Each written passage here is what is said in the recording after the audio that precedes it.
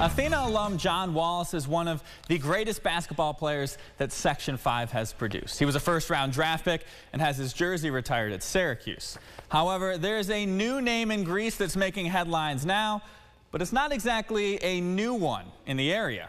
Carl Jones has the story. Over 20 years ago, James Reaves was a star at Edison Tech and had a decade long pro basketball career.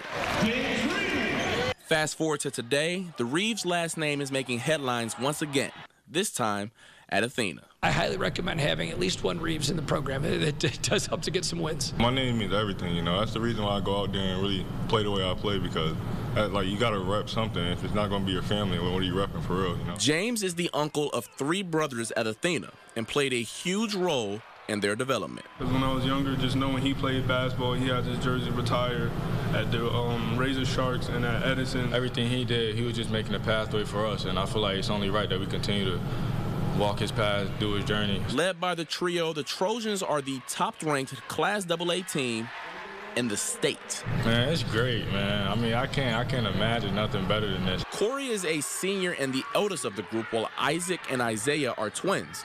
And as you can imagine, they're really competitive with each other.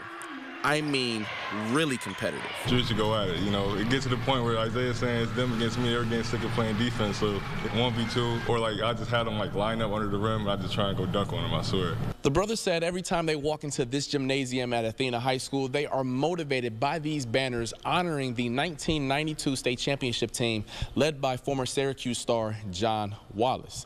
Isaiah and Isaac said they're trying to do something like that for Corey sent him out on top with a sectional title. Reporting from Athena High School, Carl Jones, News 8.